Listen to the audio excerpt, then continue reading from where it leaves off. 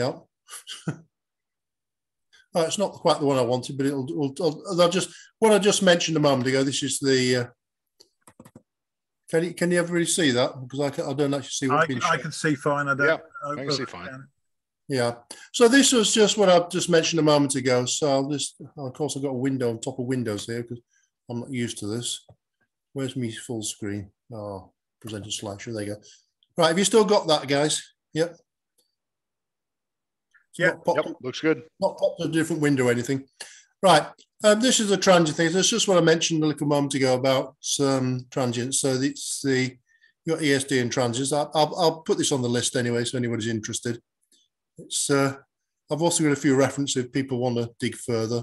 Again, you see the curves I mentioned. Here's you can see the two curves there, the, the fast 820 and the 10350.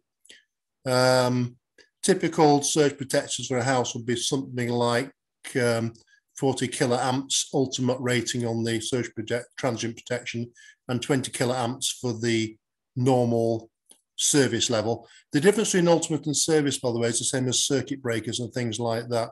The ultimate one is the maximum current that you expect the thing to survive. Um, it doesn't mean it's going to be a very good state afterwards, but it'll, it'll operate that time. Um, but if you hit something with a, the ultimate current limit, then really you should think about replacing it um, before it happens again. The service one will basically you can you can it will stand quite a few goes at that sort of level without immediately degrading. Um, but that goes to circuit breaker contacts as well as transient protection. But anyway, you can see here that in the diagram the two curves there. You've got the very sharp curve there, which is the 820, and you can see the 10350. The 10350 is more modeled on the current pulse on a, on a lightning stroke. And a typical lightning strike can actually consist of multiple strokes. So that would be one, and there's quite a high, lot of energy in that because of the dwell period. But uh, that's another story. Um, what I mentioned earlier about high, high altitude electromagnetic pulses, you can see here you've got three curves. Note these are actually a log-log scale, so it's actually a lot more severe than you'd actually immediately appear. Um, the first one, the E1, um, you see you've got a rise time of sort of a few nanoseconds and then decays off fairly quickly. But the second one looks much more like a normal transient, but that's the where the bulk of the energy would would cause. But your transient suppression should have should be able to get. And the third one you can see is several can be several seconds or tens or even minutes away from the initial uh, pulse. But uh, that's just that one. So we'll get rid of that. We'll now I'll actually now find the proper thing I was supposed to be sharing. So if I go back to here again and try and screen share properly. Um, so where are we now? Um, this one, I think. Try that one. Okay. So I'll maximize that window. If you can't see that there's a full screen from my end, then let me know because I'm I'm just talking what I'm seeing, but what you lot have got. Okay. So just a picture here. That's that's my house as, as I was taken a couple of years ago by some somebody who's trying to sell a property nearby and flew a drone and took a load of pictures. Um, there's actually a few more panels on the behind the house now than there were there originally. So I've got 39 up at the moment. The property is actually off grid because the cost of installation would have cost me about the same as um, a connection from the utility. So I said, screw that, put my own panels and batteries in. And it's kind of paid for itself pretty quickly. Um, some of this I think you've seen before. Um, this is um, where we are in the UK, we're actually about 53 degrees north, which is actually quite well up there, which means you get a huge seasonal variation in the solar power you'd expect to see. And um, at this location, it seems to work out at about seven to one between summer and winter solstice. Part of that is due to partial shading from some trees about 50 meters away from 75 meters away from me. And that we have a lot of cloud cover in winter here because we get a lot of the weather coming in from the Atlantic and over Wales, where it dumps most of the rain, and then we get the leftover rain when it gets past Wales and us. And with the result, we tend to get a lot of cloud cover in winter. So seven to one is, is about what I see here for seasonal variation. Um, if you're further south in Europe, for example, like um, on the northern Mediterranean coast, you see about three to one. Oman, you see about three to one. Qatar be about two to one, and that's based on when I used to live out there. Um, but here's a now. If you want to make a prediction of where you are, then there's a link which you'll see in this page there, which again I'll I'll send these out to people.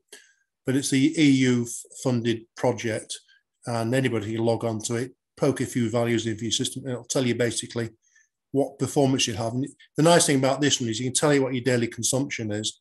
Um, you can tell it what's that, how much battery capacity you've got and how deep you want to discharge from, how much solar you've got and where the solar is. And it goes down and works at how many days you run out of battery power. It's actually quite, and it's actually surprisingly accurate in my experience. It certainly reflects what I see here. So that's P, the photovoltaic geographical information system you see there. Um, installation standards, there's lots of installation standards. Um, in the UK, we've been a bit late to the game, so we've kind of adopted um, a lot of the IEC ones. The BS 7671, which is the wiring regulations, as everybody calls it in the UK, this is a British Standard document that's evolved uh, over the last hundred years or so, and comes out in different editions. We're now up to the 18th edition. I think it's Amendment Two now, and this is codified in the wiring regulations, which are the so-called approved documents for building control. So if you want to do any electrical installation work or wiring in the UK, you have to comply with the approved documents or the building regulations that call as they're called, which promptly then refer back to the British Standard 7671 for the electrical stuff. So you kind of get stuff whichever way you do it. Um, but the only problem with this document, it's expensive because it's owned by the IEC and you have to pay something north of £100 to get a copy and then a lot an extra money every time you they do an update, which is an interesting th thought that legally mandated requirements to, to even know what they are, you actually have to pay for in the UK, which is a bit odd. Um, and again, I mentioned another one here, the the, the BEAMA document as well, Guide to SPDs, selection application thing. SPDs are becoming a big thing in the last three or four years in the UK on solar and electrical systems. It's only in the last couple of years they've been mandating the installation of SPDs on house um, consumer units or distribution boards. And the same thing has been finding its way into solar systems as well. So again, that's that's worth looking at, and it gives you referenced um, architectures and things like that. Um, the MCS certified link at the bottom of the standards tool library is very much worth looking down there. There's a whole bunch of things you can download, and they're all for free, and they're all very good best practice. So I'll just leave them there, and people can look at them when they want. Um, and this is where really I'm really thin on the documentation, not like the last presentation where I had page after page after page of pictures and things. This is really much simpler. Um, so if we talk about system design for a solar, which is I think kind of where we're coming from on this talk, um, there's a few things you have to look at. Um, obviously, you've got to do it, work out your the angle you want to put the panels, the shading and things like that, how many you want and things like that. And you can use the modeling uh, from the EU uh, GIS system there to actually predict the sort of performance you expect to get. And from that, you can, you can dimension your system. Um, when you get down to the nitty gritty of designing it, these are just a few guidelines which I kind of recommend that people consider. First thing is um, solar panels um, generally should be regarded as a current source rather than the voltage source. So if you like a, a typical panel, say 250 watt panel would have a an open circuit voltage about 38 volts in daylight.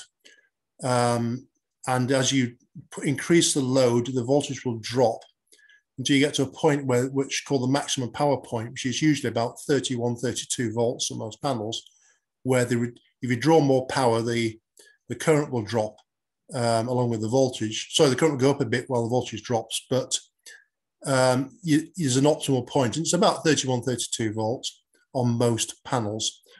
Um, so what a, an MPPT charge controller will do will try and optimize, will sweep the current load on the panels and see where that point is, and then periodically retract to see to keep yourself on that.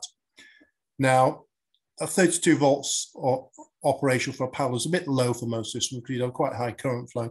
So you put panels in, in, in series or strings and raise the voltage by n times where n is the number of panels you've got in the system. So if you have one big string of say 10 panels, you could have say off, off load of about 380 volts and optimal load about 320 volts. Uh, and your charge controller would, would then convert that down to whatever the output is. Um, obviously, if you want lots and lots of panels, you can't just keep raising the system voltage because things get quite dangerous. And obviously, there's the voltage limits on the equipment. So then you tend to put strings in parallel. The problem with that is if you have a if you put several strings in parallel, if one string fails in a bad way, you'll end up putting current from the other strings into it, and that can cause roof fires and things like that. So if you have more than two strings in parallel, really you need to fuse them individually, preferably in both positive and negative terminals, so that um, if one of them starts drawing current from the others, then the fuse pops and uh, you don't get a fire. And, and at some point you have to go and see what the problem is. Um, because the panels are on your roof, um, they're subject again to lightning and transients and things like that, and anything goes on. So you should have an SPD uh, or a surge protection device. And actually, it should be SPD before the isolator, not after the isolator. Uh, so typically, what you'd do is you'd have your panels, you'd have your solar combiners, and I can show some pictures of solar combiner schematics after this. I've got a few I've been drawing up for people, which you're welcome to look at. Um, you'd then run that down to where your charge controller is. You'd have an isolator on the input to your charge controller if it doesn't have one built into it. Um, and you put a surge protection actually before the isolator, not after. I got that the wrong way around there. Uh, and the you connect the earth from the SPD to your common earthing system um, for your installation. If you've got your panels at a distance in a field or somewhere like that, then you have an SPD at that end, at the remote end, to the local earth, which could be an earth rod or just the the mounting frame for the um, panels themselves, and then you have a second SPD uh, in the in the property next to your charge controller. And the reason for that is that if you get a big transient come through, you don't want the, the voltage transients to start puncturing holes in insulation in the cables under the ground um, because of the over voltage. You want to basically clamp it at the panels, and then because that local ground uh, voltage may be different to where the house is because of the transient currents, you'd put a second SPD actually in the house as well to um, stop you blowing up your um, charge controller. And there are assumptions you make about the overvoltage capability of charge controllers based on system voltage, but I'm not going to go into that here. It's actually in the IC document, but I can pull up the numbers if people are interested. Um, charge controller, again, charge controllers will have a minimum maximum voltage rating. They'll also have a usually a, a narrower voltage range on which they will actually track the incoming voltage to do the MPPT operation. And you should always aim to sit your open circuit voltage somewhere to the upper end of that range for efficiency. Um, and when it's MPP tracking, then it should again still be fairly, it should stay within that range. You can over provision um, your solar panels compared to your charge controller, though it does depend to some extent on the controller. And the reason you would do that would be to increase the average power available in your system um, while still clipping it at whatever the charge controller is rated at. Um, in my case, I have a, a, five kilowatt charge controller in this house, which is a 48 volt, 100 amp. Um, but I've got about 10 kilowatts of solar panels. And so what happens is on an ideal day, you'd see the current go up, power go up and up and up until it reaches a little under five kilowatts. And it would just stay at five kilowatts until later in the day and when it drop off again. Um, you say, well, you're losing a lot of power because that it, that bit above the five kilowatts, you obviously don't get from the panels. But to be honest, most of the time you, you're not going to get that very often, and you're never really in the UK going to see your full uh, nameplate power of production from your solar panels anyway. So why put in a much bigger sol- uh, charge controller for two or three percent of power, which you'd you might get otherwise lose? It really doesn't make a lot of sense. And by increasing your panels, you do increase the average power because most of the time you're not at peak, you're, you're somewhere below that. So you're just lifting the edges a bit and giving you more power during the day. So over provisioning is a good thing, but you have to be careful with what they call the short circuit current rating of the solar panels. On the back of them is what we call the ISC or short circuit current, and that is the maximum current the panel will deliver under a short circuit condition. So if you have five strings of say ISC of, of uh, 14 amps on panels, then you could in theory get 70 amps short circuit off the system. So you need to make sure your charge controller can handle an array with that size of current. Otherwise, if there's a fault, you could um, you could end up with a dangerous situation within the charge controller. Of course, the other way around that is to put fuses or circuit breakers on the on the input as well to limit it. But it's probably not a good idea to exceed the ISC rating of your charge controller. Um, batteries, of course, and I'm, I'm, I'm talking off grid here. So I'm, I'm, I'm, I'm got a charge control that's delivering DC. And typically on a larger system, you go for 48 volts. I have seen people coming in with double that at 96 or 100 volts, which frankly I think is a bit lethal. Um, 48 volts is, can, can give you a tingle when you're touching it, but 100 volt battery system will probably kill you if you're not careful.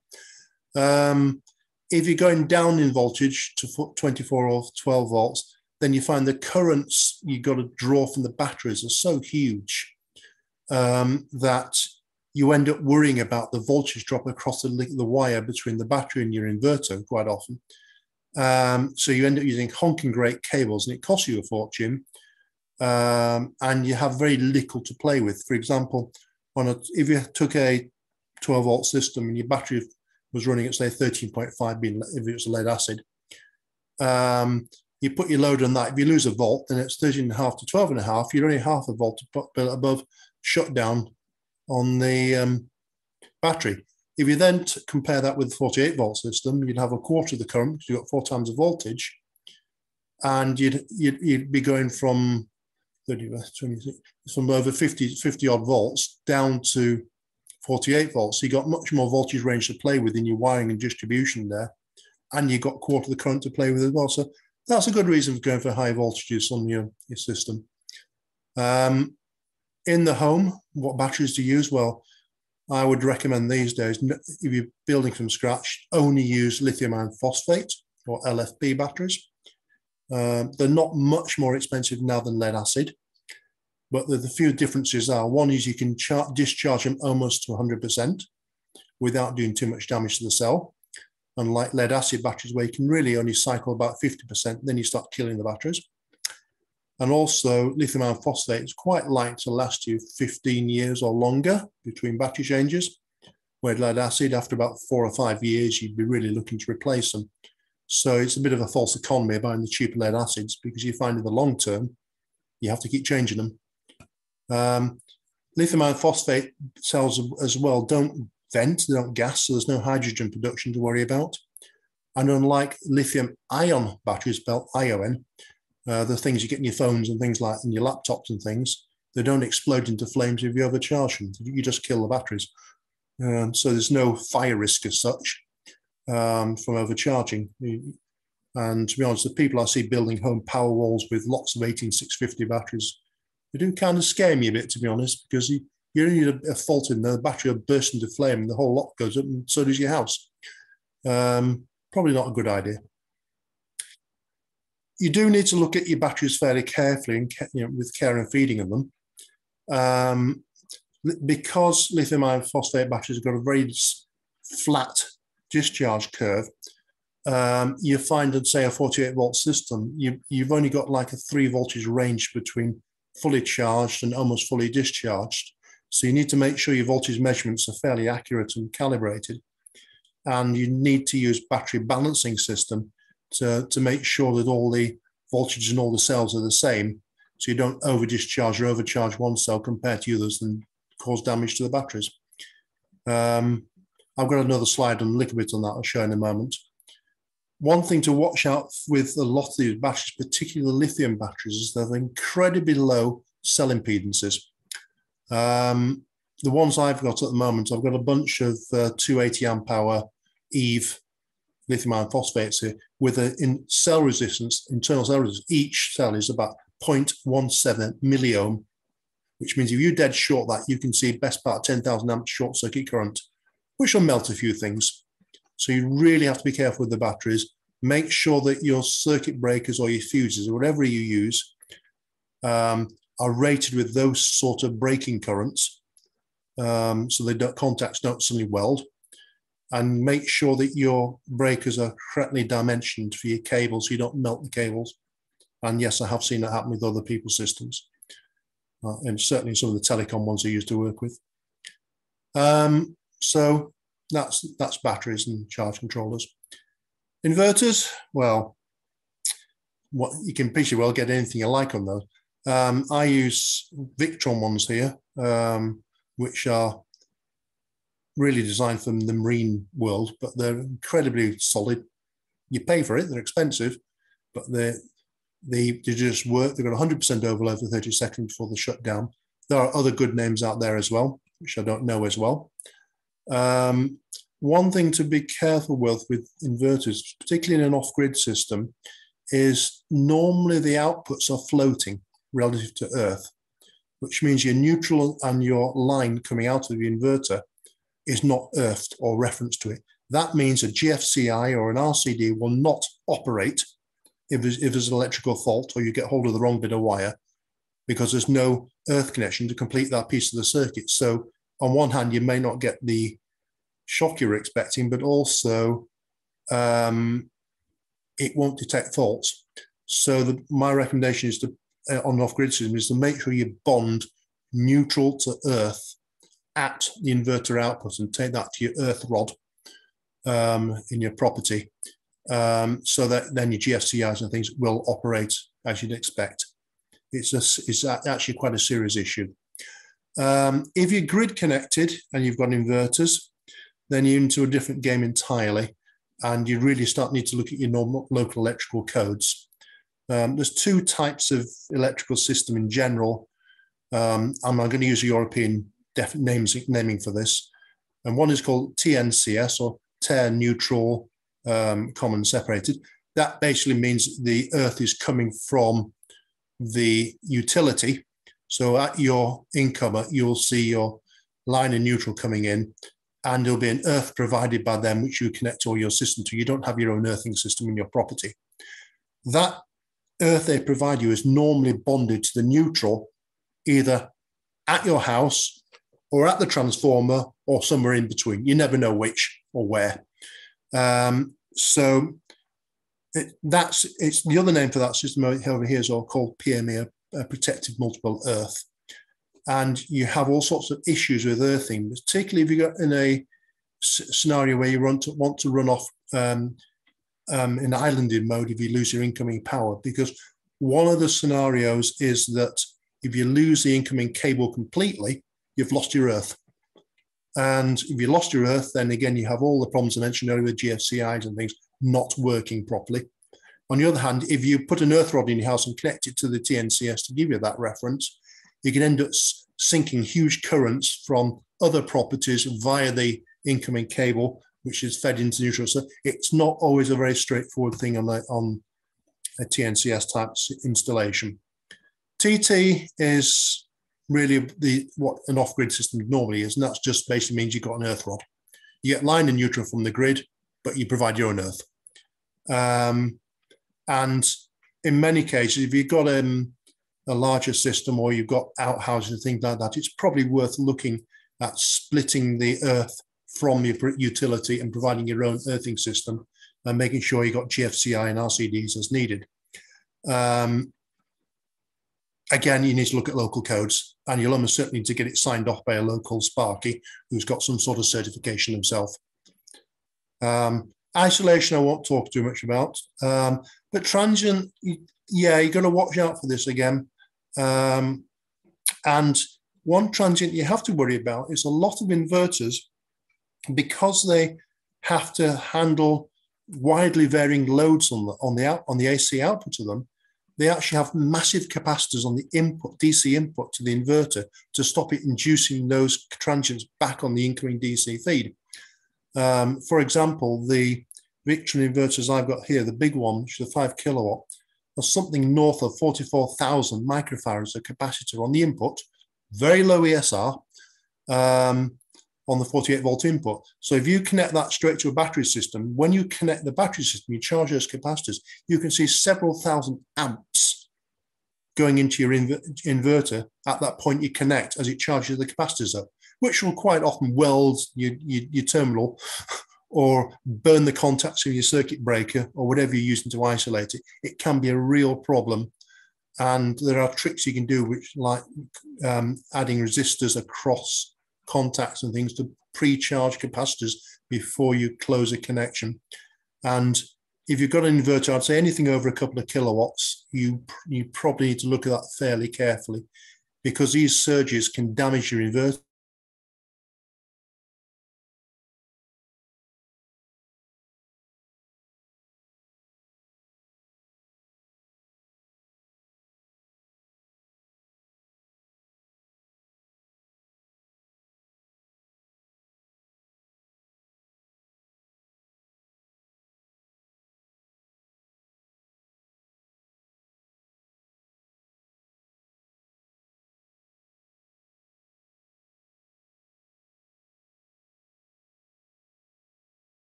you did get a bit further down, but it probably it, it stands a uh, repeat. Yeah. Okay. Um, so if you look at inverter stuff, um, earthing is a big safety issue, particularly when you're grid connected. And depending where you are, you obviously have your different wiring codes. So uh, my, my first advice, you speak to a qualified spark who can sign off and take responsibility. Um, but there's two basic types of wiring. There's one where the utility provides the earth, usually a TNS or TNCS system.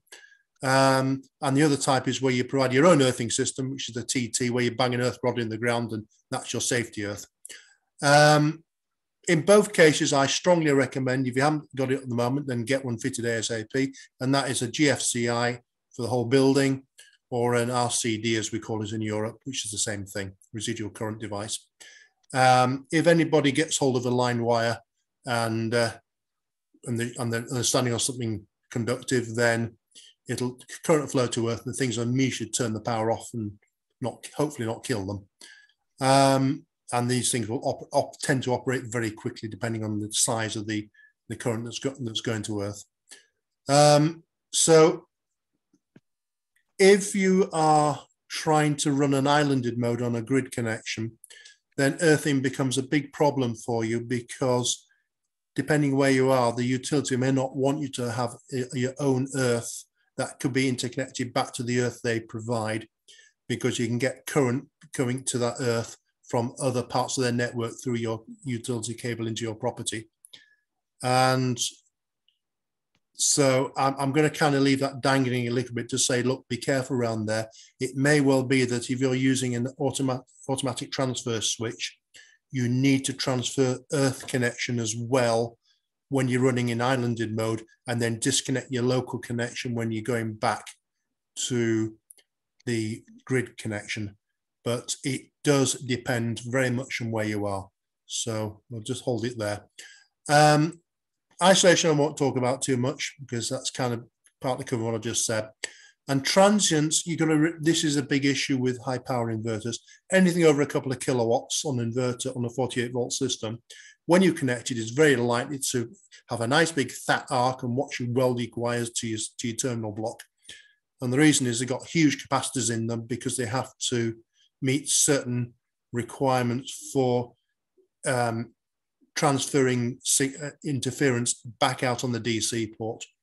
Um, because they've got to handle all sorts of loads with different power factors and current demands and things like that across the cycle, they often have large capacitors in them because um, you've got a bad power factor, then the part of the cycle they're actually pushing power back from the line back into the capacitors to then promptly put it out again in the next part of the cycle uh, on, onto your load. So these huge capacitors, when you connect the unit, have to be charge up and on, depending on the impedance wire and the wiring of your system, it can be several thousand amps you say going in when you make that connection, which blows your terminals to pieces. It certainly destroys breaker contacts. I've, I've lost breakers before now because of this.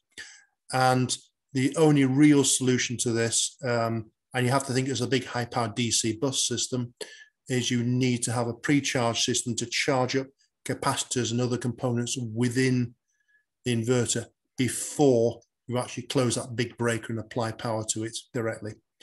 Um, and the usual way is to put a, something like a, a 1K resistor across the breaker contacts. About five watt resistor would do the job. On each, if you double pole switching, then you need one in each set of contacts. So that even though the breaker's off, there's still a little bit of current can flow to keep those capacitors charged in your inverter.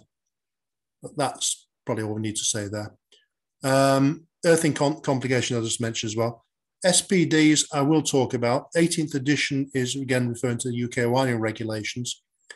Um, and you have type one, which you would use if you had power going between buildings with diff and you're in an area where there's any chance of light, lightning, not direct strikes, but nearby lightning, especially if you're lightning onto overhead cables and things like that. You'd probably have a type one in the incomer to the property and then you'd probably have a type two elsewhere in your system. If you've got underground cables coming mm-hmm. from your mm-hmm. local transformer, then probably a type two is what you'd use, and that's what most people use in the UK. Um, not really a lot more to say there. I think I covered that in the previous chat. Battery considerations. If you've got a solar system, there's a couple of ways you can you can do this. Um, you can either take the DC off the solar panels DC DC convert it and feed your batteries and float them, which is what most standalone systems will do. And then you invert back out for your load or whatever you've got at the other end. You also have AC coupling, which is a little bit more complicated. And if you, but often if you have things like micro inverters on your solar panels, where each panel's got its own individual inverter to optimize the system performance, then you're getting AC coming into your charging system. And then you so you have to have an AC coupled battery charger, which would also be intelligent enough to know when to divert power back out again. Little less efficient, or sorry, a little less power efficient, um, but you can often get a bit more overall system efficiency because you can play with the panels individually and the performance of them, but they are more complicated. And personally, I, I, I would stay away from AC coupling on the battery system.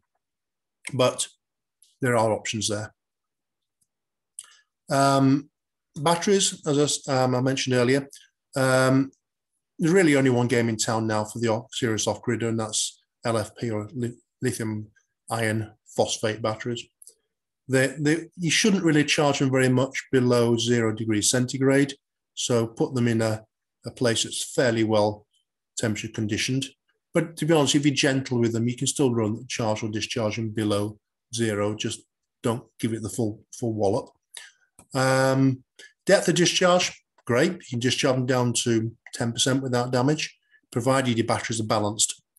Um, I would recommend probably stop at about 20%, being conservative. But if you compare that with the lead acid battery, where if you discharge a, a set of deep discharge lead acids regularly, down to, shall we say, 20%, you'll get about 300 cycles out of the batteries and then they'll be losing capacity rapidly as they start to fail. Lithium iron phosphate, by comparison, will do about three to 5,000 cycles down to that before you have to start worrying. So that's another reason why they're so much better. And the extra cost of lithium ion battery basically means because you get almost all the useful capacity out of the cell, it actually often works out cheaper than lead acid because you have to double provision the capacity in lead acid because you, need, you can't really go below 50%. Um, so there you go. Balancing, I'll talk, oh, there's another slide on that, but yes, you do need to balance them because there's a very narrow voltage range on which these batteries operate between fully charged and fully discharged. And I'll, show that in the next page. Um, fault currents you have to really be careful with. I said I said earlier my I, my batteries have got 0.17 milliohm internal resistance. So when you've got the bus bars on them and things like that, you can, I could quite easily draw 10K amps plus with a dead short across the batteries. So you do need to make sure your breakers or isolators or fuses are rated for those sort of currents to safely discharge. Um, you need to use class T fuses, or you need to use MCCBs, which are the bigger versions of breakers if you've got short cables. Um, if you have longer cables and low voltage, you can get away with normal MCBs, which are 10k amp rated, but you need to be a little bit careful. Isolation, I always recommend double pole isolating your battery pack um, because if you get a if you get a short circuit, you don't know whether the light the positive or the negative get shorted. So we, we disconnect both. At least you know your batteries are floating. So it's probably good there. Um, I, I, mentioned earlier about ICU, the ultimate current rating.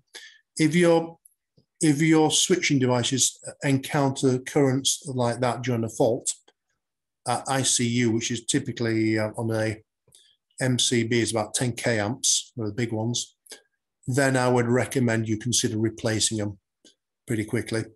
If you're at, um, if you only get current spikes at the what they call the service or the ICS current rating, which is usually about 40% of ICU, then it'll handle a few of them. But again, after 10 or a dozen or 20 trips, you might again you might want to consider changing them. And remember that your circuit breakers are there to protect wiring. So you have to make sure your circuit breaker doesn't have a higher current rating than wiring it's supposed to be protecting.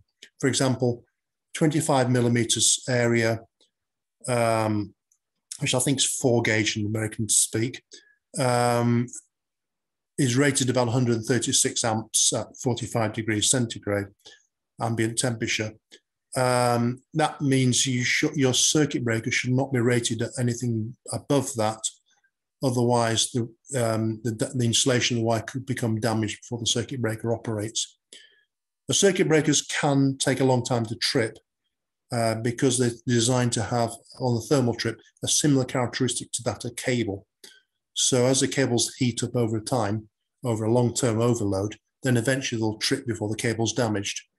But if you want them to break, trip immediately, you've usually got to draw at least five to 10 times their nominal rating to make them trip instantly, which is the short circuit protection.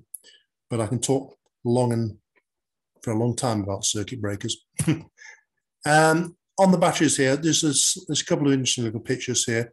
The picture on the right um, the battery voltage chart. You can see here at 54.58.4 volts, got 100%, which is really, you don't want to charge higher than that. And to be honest, I don't recommend you go above about 54 and a half volts in charging. But if you look, you've got 54 and a half volts there. And if you go down to 20%, you're down to 51.6. It's quite a narrow range. And if you divide that difference by 16, then you can see the cells have got to be pretty close to each other. Otherwise, you're going to get an imbalance between cells. And the picture on the right, which may or may not come through you guys, is actually a screenshot of a Bluetooth connection to a battery balancer I have uh, on my one of my battery packs here. And in this particular picture, you can see that the different delta voltage is only seven millivolts between any two cells in the pack. And what this is doing is just taking current by charging a capacitor from the highest voltage cell and then discharging the capacitor into the lowest voltage cell. And it does that all the time continuously. So it's moving current between all the different back cells um, to try and even the pack out all the time. So there you go. I was going to talk about the UK grid, but to be honest, uh, I think with what's going on at the moment, nobody really knows what's going on with the pricing structures and the financing of it. We do have um, quite a diverse range of sources on the UK grid, and typically at the moment, gas is used for balancing on the grid, which is why power price in the UK is so high, because um, since the gas supplies have been reduced to, to Europe um, the cost per kilowatt hour for gas has gone through up by about a factor of 10 over the last few years. And so, but so that means any balancing services using gas cost you that much. And so on what happens with most of the power providers out here is they have what, what, what called PPAs or power purchase agreements, where they buy the bulk of their requirement and commit commit it at a commercial rate then anything over that, they'll go to the um, spot market and buy extra power. And the spot market price is what everybody's talking about. Um, these very high prices you see. And you can, if you look on Electric Insights, you can see um, what's going on the mixer. Typically, gas is on over a year is probably running about 30 to 40 percent of UK supply. Coal is a percent or so. Wind is nearly 20 percent now. Photovoltaic quite low in the UK. It's about three or four percent. We do need a lot more because in the summer wind tends to drop off, and in winter PV obviously goes through the floor, but the wind picks up. So we probably need about four times the PV we got at the moment to, to, to balance the wind at the moment. But that's not going to happen at the moment because it's, it's politically diverse, divisive, shall we say, because the a lot of the people in the country don't want to see solar farms near them, although they're quite happy to use the power. Um, biofuel is a bit of a funny one.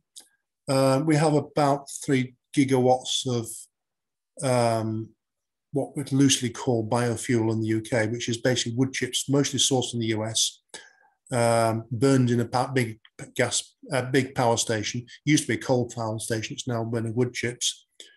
As for how renewable or sustainable it is, well, it's a bit questionable because it does seem to involve an awful lot of clearance and mature uh, forests, which will then take a long time to grow back again. But yeah, we don't have much hydro in the UK, uh, probably less than a gigawatt. Uh, we do have some pump storage in the order of a couple of gigawatts worth, which can turn up and down fairly quickly.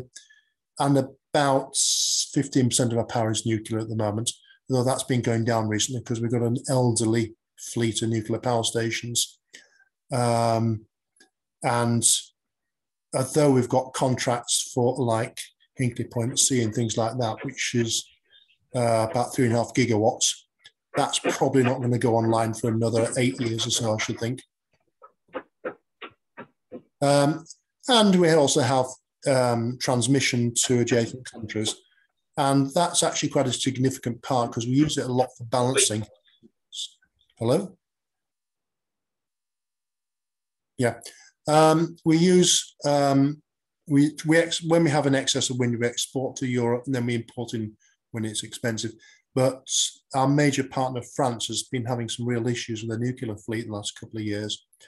And their ability to export power to us is down quite a lot at the moment because EDF have basically, I think, shut down approaching half of the nuclear plants at the moment because of uh, faults and cracking in various parts of the reactor systems and things like that. So it's not great.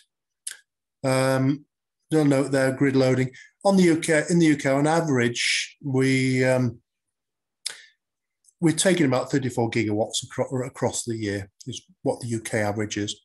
It's actually down by about 15% over the last 20 years because of improvement in lighting. Getting rid of incandescent bulbs and things has actually made a big difference. Um, EVs, I'll just, just mention there.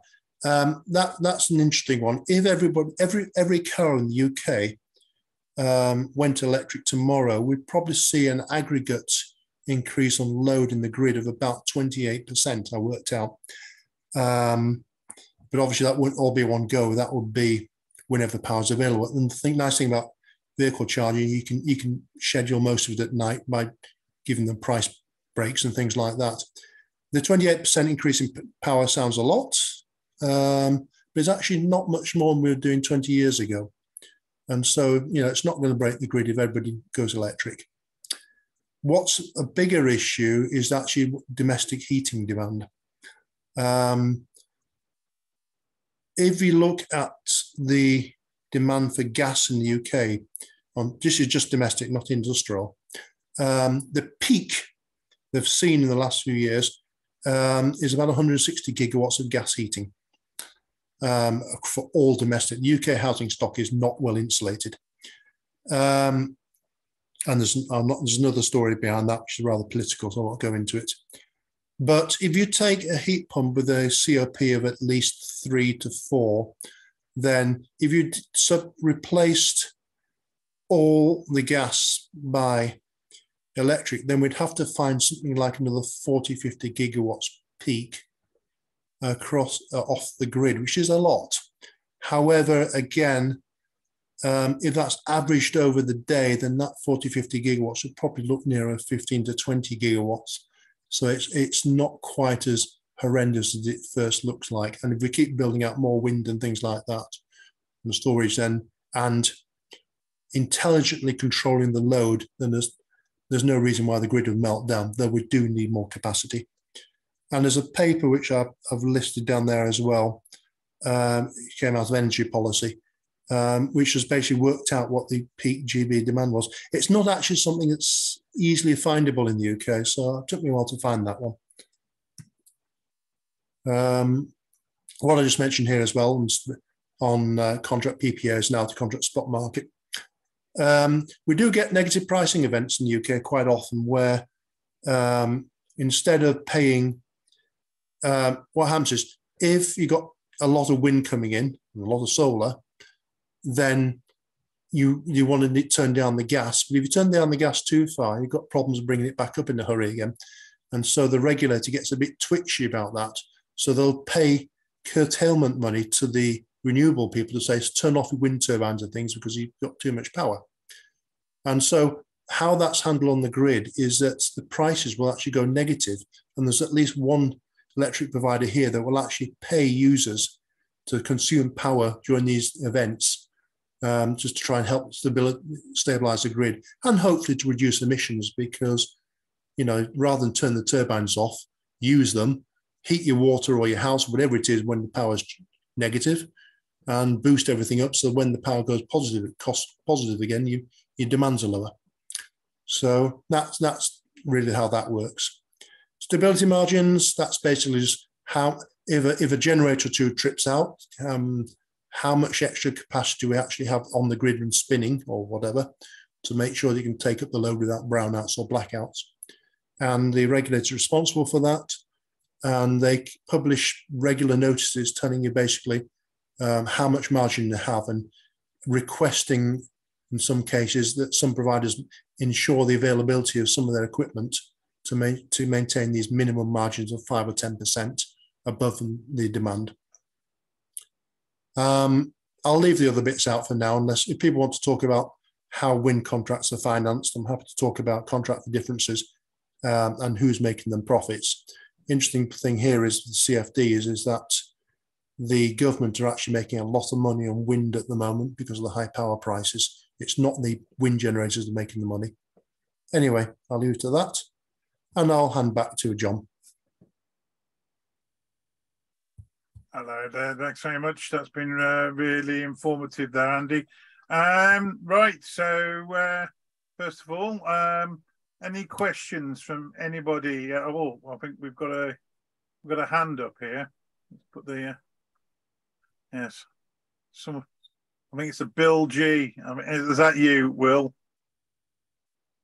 Right. Anyone yes, would ask yes, any questions? Yes, very good. Uh, Andy, that was a very interesting talk. It, highly technical. I've got to say a lot of it went over my head. Um, but uh, the, the, question I've got is that you were saying that a, a lithium iron phosphate battery probably needs replacing every 15 years. What do you anticipate is going to be the lifetime of the panels that you've currently got in play? Um, good question. Um, my panels are actually second-hand. They came off a solar farm that was that was repowered. Um, so my panels are actually about ten years old. They've been in the house for about five now. Um, good quality panels um, come with what they call a, a power guarantee or warranty, and it's usually phrased along the lines of they guarantee 80% of the original power production or efficiency after 25 or 30 years, depending on the panel you buy. After that, unless something catastrophic happens to the panel, the performance will just generally slowly degrade over time. But a 50 year old panel, if it's not damaged, I would th- I'd expect to be still running at 70% of what it was originally.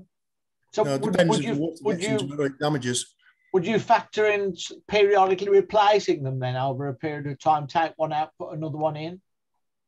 Not really. Um, I think you're looking at more of the repowering scenario. So, for example, if your panels are up and working, um, then you just use them. If you if one gets broken or you know something stone falls or hailstone cracks I mean obviously you need to fix it but I wouldn't do any uh, proactive individual panel replacement as such. Because the other issue is you want to keep all the panels and all your strings about the same age. Otherwise, right. you end up with different voltages and the different strings, which can affect efficiency quite severely. Um, the only other reason I would look at changing my panels, and I've actually contemplated it before now, um, would be if I wanted a higher efficiency. My panels are basically 14% module efficiency. So 14% of the incident light that falls on them turns to power. Um, modern panels now are pushing round about 21%, although your price sweet spot is still about 18% efficiency panels um, because you're still paying a bit of a premium for high efficiency ones. But that be the only reason because I've got a limited roof space. And to be honest, I'm a bit twitchy on power in winter, so there's an argument for replacing some of my panels with higher efficiency ones to give me that bump in winter. Yeah, I did read about that. What about the inverter? How how frequently would that need replacing? Um, again, it depends. Um, Victron, for example, here with the DC ones here, um, 48 volt inverter, they actually offer an unconditional uh, five year warranty on these things and I know they they reckon published that their return rates are under three percent. Um, most people reckon that on a grid tied inverter, you need to look plan to change it every 10 years or so. But again, until it goes bang, there's no point changing it. You know, if it works, why, why change it? Um, similar story. Stop it going bang. Well, if it, if it goes bang, you, go, you just change it. Just you, know, you don't get any power off it for a few days until you get another one. Yeah. Thank you. Um, it's not like uh, start capacitors on air conditioners on the roof where you know that after five years in the sun, the start capacitors are screwed and the, the air conditioner won't start up. That, there you, you want to do a preemptive uh, replacement every three years or so of the start capacitors, not that anybody ever does. okay. Right then, thanks very much for a good question now. And uh, again, Andy. Uh, yes, uh, John, sorry you've been waiting very patiently there with uh, a question. You're muted.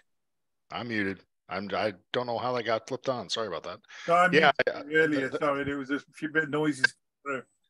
That, oh, from me. I'm sorry. I wasn't sure, so I just. Oh, you just hit everybody. Got it. Yeah. Um. So yeah, the uh, that was interesting. I didn't know about the the new battery type. I want to do some reading on that because I, I I found that interesting, and you know the whole battery aspect of it is is the part that I have trouble wrapping my head around or having to drag out a a uh, uh, generator thing. But one thing I was wondering, do you ever deliver?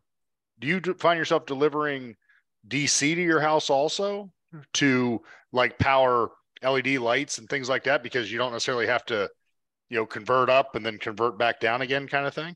If that makes that's sense. A very, that's a very good question. I initially, yes, I thought yes, I'll run DC around the house as well because that way I don't get all the all the standing inefficiencies of inverters, and I actually got outlets around the place which are wide off uh, DC DC converters to give me 12 volts and 48 volts where I need it. I've never used them. Really? Okay. the reason is um, because most stuff, um, really, I mean, part the big appliances you can't run DC on them, like washing machines Fair. and things like this. Yeah. You know, the loads you kind of think would be most beneficial would be things like laptops and lighting. Now, lighting, yeah, great yeah, you can obviously make it efficient. But then when you look at what lights are available for 12 volt, you find that the color rendering of the LED lights is fairly, tend to be fairly crap. Hmm. You don't have a huge range of product. And the efficiencies actually, surprisingly, of the cob lights are quite low. You might be getting 50 or 60 lumens a watt efficiency and a fairly poor quality white light that makes everybody look like they're about to drop dead or, or ghost. Um, on the other hand, I can go down the street into the local supermarket and buy some of these um, film LED filament lights with a with a CRI of over 85.85, good color rendering, lots of shades, cheap, and an efficiency is well in excess of 100 lumens a watt. So even though I've got inefficiencies in the inverter and things like that, I'm still winning, and I've got better quality of light. The wife knows how to change a light bulb. Um, Fair point. yeah. So, so, yeah, it was it was sort of something I'd, I thought initially. Well, I'll, I'll obviously run DC, but no, I don't. What I do though for efficiency is I actually got dual inverters here. Um, I've got a 1200 watt inverter and a five kilowatt inverter. And the idle power on, on the small inverter is about seven watts, and the idle power on the big one is about 35 watts. which over a day can be quite high, especially when I'm fighting for every kilowatt I've got. So what I do is I've got a wireless switch, um, an uh, EV1527 system, I think it is, um, which um, I use to switch off the big inverter when I'm when I don't, I'm not running the washing machine or the water heating or the Oh, okay. microwave, and I just run everything off alone. And for the moment, the only loads running at the moment is the lighting, the laptop, and things, and all. So I've got two lots of sockets around the house. I've got some sockets the black inserts in the middle, and some sockets the white inserts in the middle, and depending on which color I use, I get one or the other inverter for the equipment. Well, So I've got two. I've got two distribution boards in the cupboard. One for high power inverter, one for low volt power inverter. So, um, So, so, so, so throwing the wife acceptance factor back in there, Yeah. Does she have to mess with? Does she have to mess with that also? And how's that work? well, There's a big. There's a big button on uh, basically a wi- wi- a wireless switch on the wall, so she knows that if the microwave light isn't on, she wants to use it. She knows to press it and turn it on. oh, there you go. You just have a you have an owner's manual for your kitchen kind of thing. If you're gonna do this, flip this switch. Okay. Yeah, Cool. and she knows if the light is not working or turn it on. Yeah. so it actually works quite well. Um, but I mean, do I need to do that? It's arguable. I mean, the big inverter turns about 700 watt hours a day, basically just sitting there doing nothing. Which, when in the December at the moment, when I get a bit short, is that's enough to to make me a bit twitchy sometimes. So by switching it off, I can eke out me batteries a bit longer. Cool. Well, thank you for that. I'm gonna have to jet on you guys. I gotta go pick up my son. It's five o'clock here, but uh, it was a very interesting uh, talk, and uh, thank you for that. Take care. Thanks Thank you. very much, John. Yeah, I see a question actually in here, which I was going to mention as well. Um, I, am looking in the, the, the questions here, which was, are SPDs only required in domestic environments or do you need them on mobile homes? Shall I answer that one? Yes, please. And then William is he's uh, oh actually ask Will first, and he's he's he's got his hand up, got his little paw up. Go on, Will. Go ahead. But you are muted. We are still silent there, Will. We Nope, can't hear no- you. You've gone. Your wife has got control of the mic.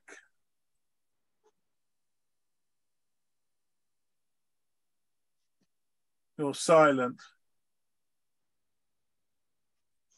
I'm sorry, William, we can't, we can't hear anything from you at the moment. You're muted. Unmute yourself. Well, that's right. You're not muted. You've Yeah, it might be a microphone to turn All down. right. Well, while you sort that out, well, well, uh, answer the other question, please, Andy. Okay. Yeah, the question, um, SPDs, it's something which should- people have been wanting to use for a long time. Um, certainly on radio networks and things, we've you know we put them in as standard on main feeds into sites, and obviously on where stuff comes down the radio towers and things like that. Absolutely, and it does protect you hugely from what comes in. Historically, the the UK homes di- didn't care too much because we didn't have a lot of electronics. You know, the old style um, incandescent bulbs and things like that were pretty immune to most transients coming down the line. The, the game has now changed entirely with computers and little switch modes inside every light bulb and everything else. So SPDs have been working their way up the priority list in the regulations in the UK. And that's a little bit of history behind that. So where you have an incoming feed into your property from the grid or an external power source, um, basically you you you would now building requirements would basically say you need to put an SPD on the in, on at your consuming unit or where it comes in, and it's actually quite sensible. Um, they also say that where you have extraneous systems like solar panels on your roof and things, where that comes in, again you should probably put SPDs in there. And I sell quite a lot of DC SPDs to installers. Um, so that's something that's changed in the last few months as well. Um, if you have an off-grid system there and you, everything's there, then I'll say put an SPD on your solar feed or your wind turbine um, or your hydro, um, but don't worry too much on the outputs from your inverters, providing you're not running cables out of your house into other buildings. Um, if you're in a mobile home and you have a feed coming into it from the grid or an external power source, yeah, and it's AC, put an SPD on it. It's a good idea. Make sure bang an earth rod in next to it. It'll stop you blowing up the, your, your iPhone or something when it's on charge. Um, if you're completely self-contained, again, it's probably less of an issue. I think I kind of answered that. okay. Let's see if we've got William now. Can you hear me now? Yeah. Yes, mother. Oh, that's good.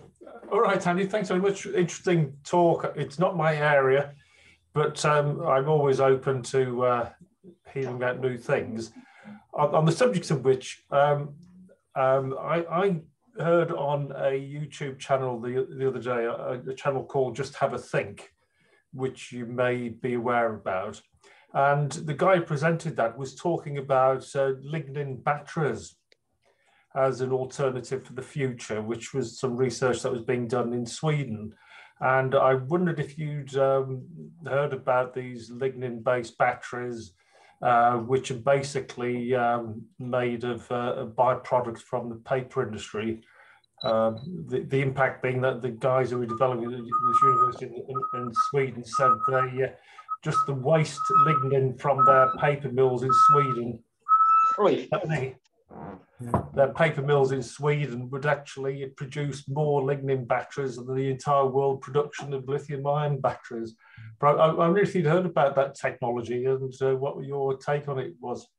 I've not heard about those particularly, but I've heard about some very similar things. And um, it comes under the usually the category of carbon carbon cells, hmm. where they use um, a salt electrolyte and then graphene based um, um, plates and a, and a, separator in between it, membrane. Um, and I think the lignin batteries are coming into that category. So effectively, they'll be they'll probably char the lignin to some way to actually make, um, break it down to give it into a graphene type form, an open form. Um, so effectively, they're, they're very they're a, it's not a chemical process that's operating within them. It's more of an electrostatic process. They're like right. supercapacitors on a, on a, on a massive scale, or ultra capacitors, or whatever name they've, they're giving them these days. But effectively, it's a graphene battery with um, usually a salt electrolyte, although there can be other other ones, and then with a a semi-permeable membrane in the middle to keep the two sides apart. And I've been seeing numbers in the order of 50 or 100 watt hours per kilogram for these sort of cells. The interesting thing is because there's no chemical process in them, then they should have a very good lifetime. And at the end of the life, when you finish with them, you can always pour the electrolyte away or bake it off and then just burn it because it's only paper. yeah, well, yeah. You, you, see, the thing which struck me is that in, in life, it's never the most uh, cost-effective solution that's taken. It's always the most cost-effective one because that's where the biggest profits are. Mm. Do you think this will sort of die a death? I mean, if the Chinese control all I really, the, I really don't know. Supplies, There's a guy called Robert, uh, Robert, Murray Smith over here who's been running a YouTube channel. He's based down uh, the southeast, and he's been playing a lot um, with these batteries, but he's been very quiet on the topic the last year or so. So I don't know quite what's going on down there whether it's a commercial thing or whether he's abandoning it because of some issue with the with the design. But yeah, this I think it's an interesting one, and I did see um, well the UK grid operator, and the national grid, or not ESO, energy system operator, issue a forward um, report saying what they see things happening in the next 10, 20, 30 years on the grid. And I did notice in the last one, in where they had the future technologies and the the ones that are going to make it make an impact. Carbon carbon batteries are listed in there as a potential um, major storage competitor. Right. So, yeah, and I'm not sure. The, I think the jury's out on this, but do they work? Yeah, they work. Well, is it scalable and long term reliable? I don't know, um, but it's certainly worth looking at because um, it does almost give you the idea of the cottage industry type thing where people are making local power storage things and for local communities. And I'm not thinking particularly in the UK, I'm thinking elsewhere in the world that's not using noxious chemicals, hard to obtain materials, and all the rest of it. So, so it's uh, sort of the sort of technology that somebody would want to buy up and close down then? I don't no, I don't think so, frankly, because it, it's not something you could close down because the, the it's the technology is understood. There's a lot of people in that space who are playing with it. You can't just buy one company and shut down the technology because somebody else do it in another country or somewhere else or whatever. It's the cat's long out of the bag on that one. Oh, that's good. It just seemed promising to me because, it, as the fellow said, uh, you grow a tree, you chuck a bit of graphene Yeah. in the in the tumble. What was it like a, a, a roll rolling a, a drum with um, oh dear, uh, what was it called? Iron bear, iron ball compression or whatever they call this. Yeah, yeah, it's basically graphene. The the the question is, I mean, graphene's was was on, on every second word in the news a few year, a couple of years back, and it's gone really quiet now. And I don't know whether it's because people realise maybe it's not the super material everybody thought it was, or whether people have just got that, get, getting on with the job and, and trying to make product. I've seen quite a few uh, uses for graphene actually in um, is heat sinks to you know actually commercial property, commercial um, bits of kit. So maybe it's become a bit passe because it actually works. Yeah. Yeah, yeah. So you know, but there is some uh, new improved, improved processes, uh, slight variations on graphene, let's say, but it's still a carbon.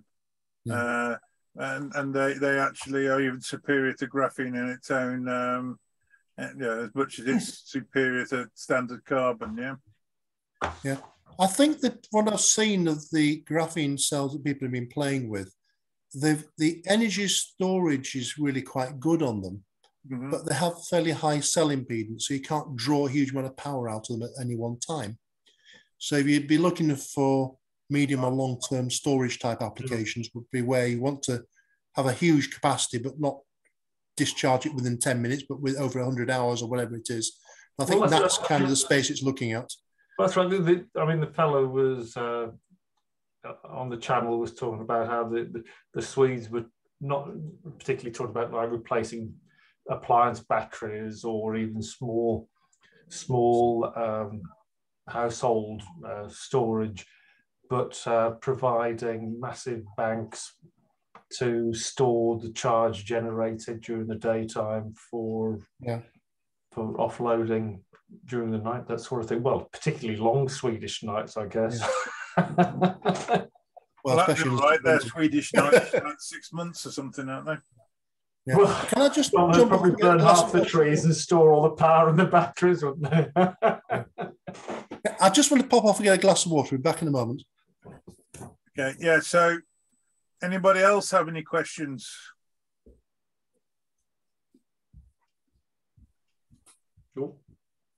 Hello. Anyone in can unmute themselves and ask a question? Daniel, Ian, Chris, Hiya. and uh, Roger. I was just wondering if he knew, if he's got any more supply of um, knows where to get some more second-hand solar panels because I deal with another, I think we I all deal like to with know another that two one. kilowatts. I've got four kilowatts on at the moment with a two kilowatt inverter on. As he as he says, he's got more panels than what he's got, what the inverters can handle, and I'm finding exactly the same thing because I've got two kilowatt inverter on, and in the summer it's obviously limited to two kilowatts, but I can't handle two kilowatts. I'm I've got I've had all since about April. I've had on surplus electricity I couldn't use. I've been dumping it into a hot water tank, and um, I've had permanently 650 liters of hot water. It's only in the last week or so that I've been topping it up a bit now because I've not got enough solar. So what I could do with is getting some more solar panels on board. To be honest, they get a bit thin on the ground of the second-hand ones at the moment because everybody's buying them anything they get their hands on. Um, I got mine through Bimble Solar down in ha- near Hamble. Oh, I Um, remember, remember you saying now. Um, I got mine through. I got mine through a local um, solar installer. He'd taken them on. Somebody had drill, Somebody fitted. He replaced them on somebody's roof because of what they've done. Is they put them on a slate roof and just drilled straight through the slates and stuck some rawl plugs and silicon in. Okay, yeah. Yeah, so they took them off and they redid the roof and they put new panels back for him. So he had a load of. uh, That's where I got mine from. Yeah. Um, I could do with finding some more because I wanted to put some facing east now, uh, southeast, because mine are facing southwest at the moment. All of mine. I thought, well, if I stick another string up there. But you you were saying about putting a couple of strings in parallel. Is that all right? Can you do that or what? Well, yeah. The, the the issue you get is if you have a fault on one string, Yeah. right, then you can draw current from the other string into that one. Okay. Yeah, but Now, if- yeah, if the if you if you, if your panels are say rated at pick a number 12 amps, yeah, yeah, then when both panel strings are working together, you can get 24 amps on your load, no Mhm. problem. If one of them goes bang, it can draw the full current of the other string, which is 12 amps, back into that one, which is kind of within the rating of the the string. Um, but if you then have three strings of panels, you could have 36 amps, and then you could be drawing 24 amps into that faulty string. So at that point, you need to start fusing the individual strings. So see, I've got a I've got a two kilowatt inverter, which has got two inputs for two strings. But I'm feeding the inverter, not feeding it with the string. I'm feeding my strings into a battery charger, and then that output of that feeds into the inverter. Yeah. Uh, so whether I could bang an, um, another string into the other string of the invert, inverter, which is not being used at the moment, Yeah, don't see why not. Just make sure you program the right voltages in the uh, batteries, battery size characteristics. I, I, I need to get some lithium batteries. I'm running on lead acid and they're bloody crap, to be honest with you. yeah, yeah. I, if you message me, you see my email on the um, mailing list. I Yeah. can send you contact details of the person that bought my batteries from. I actually Mm. got them from China, um, yeah. from a distributor there, and I've had good, very good experience with her. She's very responsive. They're good quality cells because you know you can buy, get some real crap if you're not careful. Yeah, Um, and I'll keep the pass the details on. yeah. Okay, then I wouldn't mind doing it. I'll get into you next in the next day or two or so. Yeah. As, as a ballpark figure, you're looking for 16 times 280 amp hours or 15 kilowatt hours is a little over 2,000 quid delivered, including VAT.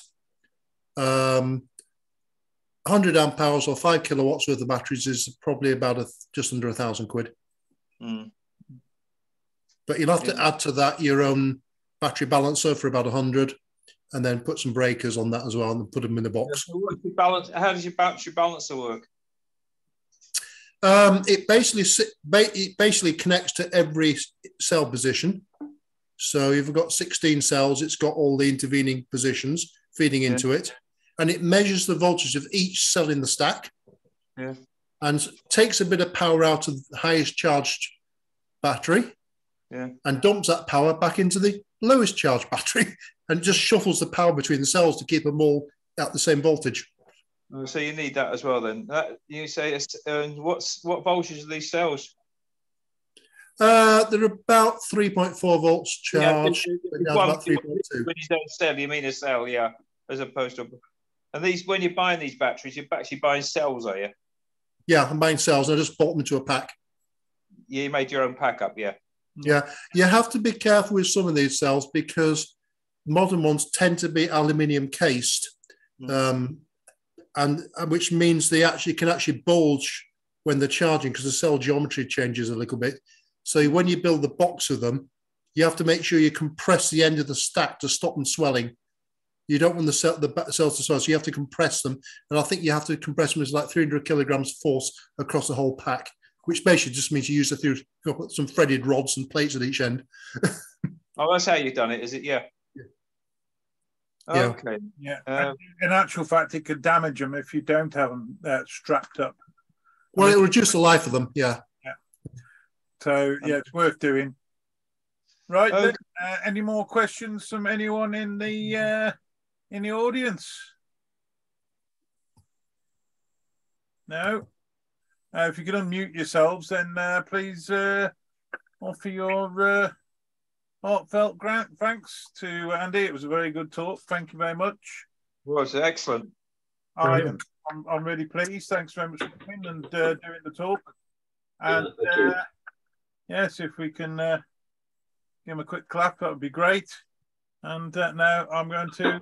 There you go. That's it. Someone eventually got there. I'm on my phone because